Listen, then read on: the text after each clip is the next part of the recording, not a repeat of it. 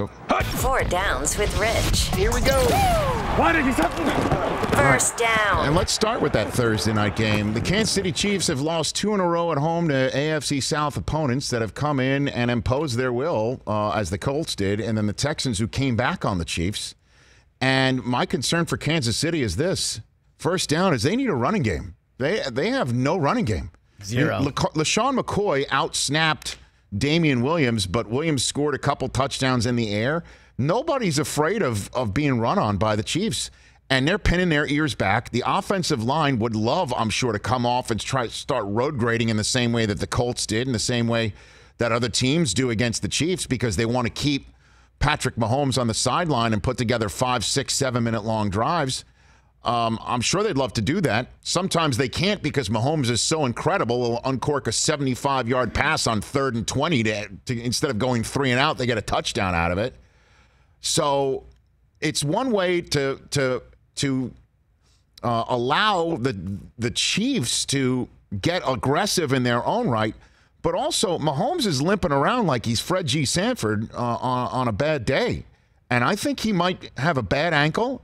And one way to keep him upright is let him hand the ball off every now and then. Yeah, two straight losses, 89 total rushing yards in those two games. They're 24th in the league in rushing yards, which, if you take a look at all the teams that have played six games right now from that point down, if you take a look at all the teams that have played six games from 24th down, they are all under 500. The Chiefs are the only one above 500. That's because they've got Mahomes. And now Tyreek Hill. Uh, I mean, they haven't had a 100 yard rusher since last year's playoff game. Damien Williams had it against the Colts. Let's see what they, they need a running game. They got to get some balance here. Uh, that's my two cents on that second down. Let's hit Second down. Okay, second down is don't count the Cleveland Browns out no, just yet. Oh, come on, really? Don't count them out yet. They're two and four. And They're going to come off the bye and they're going to go to New England. Let's make them two and five. Okay. Let's make them two and five, and let's all pile on uh, Baker Mayfield um, and use the NFL 100 commercial campaign where he's sitting next to Brady with all his rings, and he's the one staring at the rings. Let's use that as the uh, as the photograph of what the headline will be coming out of the fifth loss of the season in seven games to start it. Put the put the uh, the schedule up, please. From week nine on, Cleveland is at Denver, home for Buffalo, which won't be easy, and then two more straight home games: the Steelers, the Dolphins, and then they're at the Steelers again. Finishing up with a home date against Cincinnati at Arizona, home for Baltimore, which we've seen it's been that's their best game of the year was at Baltimore Right. and then they're at Cincinnati to wrap it up. It's entirely possible they're 10 and 6. Yeah, they could losing only one of 10, those yeah. games. Let's say they lose two of them, they're 9 and 7, which I think will be good enough for a sixth seed in the in the um, playoff hunt. In the AFC, you think nine and AFC, seven it's gets you in? It's possible. It's possible. I'm not saying that for sure. All I'm saying is don't count the Browns out just yet, and don't forget week 10 they get Kareem Hunt back, and at some point we'll move him in there, and we'll see what the offense looks like there. And as I just mentioned, one way to make a quarterback who's getting chased around look better is with a running game. Don't count them out, is what I'm saying. All right. Third down. Third down. So, who are the new playoff teams? You know, every single year on average, six new playoff teams Yeah, half. are in. Yeah. Except right now, a third of the season in, every single AFC division is led by last year's division winner. Every last one of them.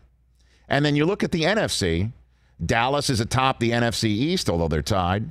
You've got the Saints there. The only new, if you will, division leaders are the Niners, but just a half game in front of Seattle, which is also would be a techni- technical new division winner. So it looks like that's the way that's going in the NFC West. And then the Packers on top of the Vikings with the Bears, who are your defending champs right there, two plus games out because, as we all know, Green Bay beat Chicago to start the season. So, who are the new playoff teams? There might not be a lot of them. Right now, what they look like is San Francisco is one of them, and the Bills, Yep. one of them at four and one, and then you've got Minnesota. Don't sleep on Carolina. I saw them with my own two eyes. McCaffrey, everybody knows he's going to get the ball, and he still is incredible. And they can scheme the, him open to in open space. And Kyle Allen's not making any mistakes. And this kid Burns from Florida State, along with Addison and McCoy and Poe. I mean, they're really good in the front seven. Kuechly, obviously. Carolina might be a playoff team. Yeah, they're seven seed right now in a tiebreaker. These are all ifs and buts. But I'm going to grab the fourth down hot take plank and tell you who is one of them. oh, here down. we go. My my favorite part of the week. It's oh, hot Oh, yeah, when take Chris- blank time. When Rich gets up, Chris gets the hot take blank. I'm a little biased Uh oh. because I have nothing but love for the man who's putting the team together there now. The Oakland Raiders are not only going to make the playoffs, they're going to make the playoffs. I'll give you the record 10 and 6. what? The Oakland Raiders are going to make the Whoa, whoa, playoffs whoa, whoa, and they're going to make the playoffs with a 10 and 6 record. Ten and six. Yeah, look at Gruden. He's smiling on the screen. Great photograph to put up there, Evan. I like it. Okay, so it's week seven. They're Week- uh, at I- Green gonna, Bay. Hold on a minute. I'm going to tell you. We're gonna parse this out. I'm going to parse it out.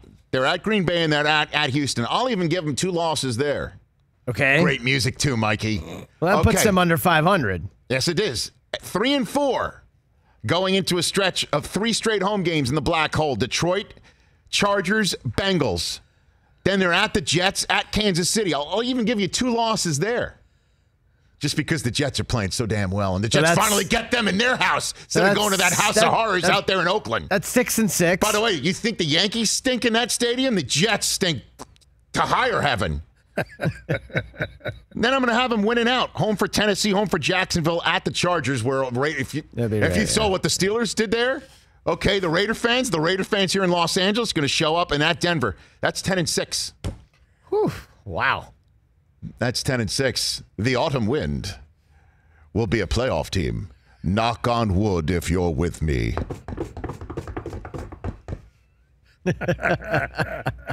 Wow. My fourth down right there. Damn, I was so close to my last fourth down being correct that the Dolphins wouldn't be the last winless team in the NFL. Two point conversion away. And now I might be right because they benched Rosen for Fitz Magic. Oh my gosh. that was a terrible two point play call, though. Oh, you think? That smells of uh, intentional. No, it doesn't. Stop it. if they wanted to, if they really wanted a tank, they they keep the the kid out there. You know Fitzmagic's good for at least two wins in him. For more of The Rich Eisen Show, tune to Audience Channel 239 on DirecTV for free on BR Live or download the Rich Eisen Show app.